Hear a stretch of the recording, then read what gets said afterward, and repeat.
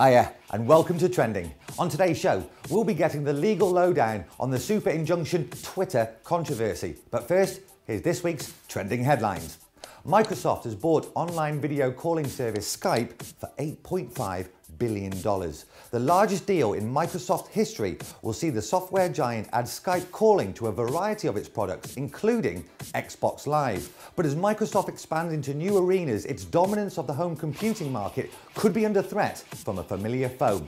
Google is taking the wraps off Chromebook, its new laptop which encourages users to do away with software such as Microsoft Word and use Google's web applications instead. Twitter had its busiest day of traffic ever in the UK on Monday. The clamour to find out which celebrities had obtained super injunctions meant that one in every 200 UK web visits was to twitter.com. So that brings us to this week's trending talking point the trouble with super injunctions. The gagging orders ban journalists from writing about celebrities' misdemeanours.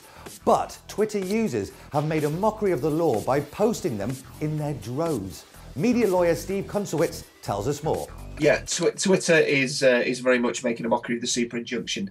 Um, the, you can get all sorts of legal recourse in relation to social media content from the court. What the court can't stop, of course, is people hiding behind a fake domain name, people spoofing their email address, going through a proxy server.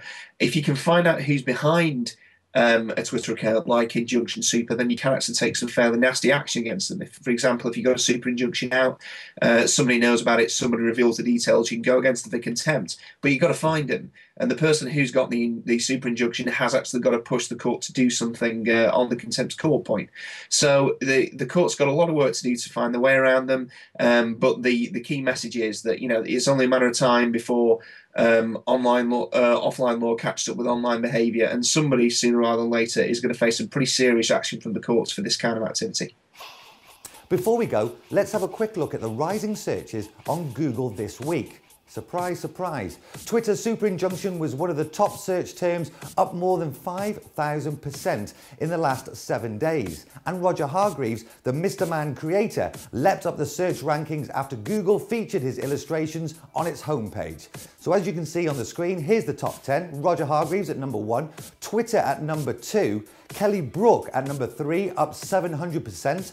Eurovision at 4, up 200%. Mother's Day up 200%. Euromillions up 140%. NatWest Online Banking up 80%. And at 8, Coolmath Games up 60%. Number 9, Travelodge up 50%. And finally at 10, Bitesize up plus 40%. That's all from us here on Trending. You can follow more stories on the Drums homepage. Follow us on Twitter if you'd like to contribute to Trending. That's at Wallop Video.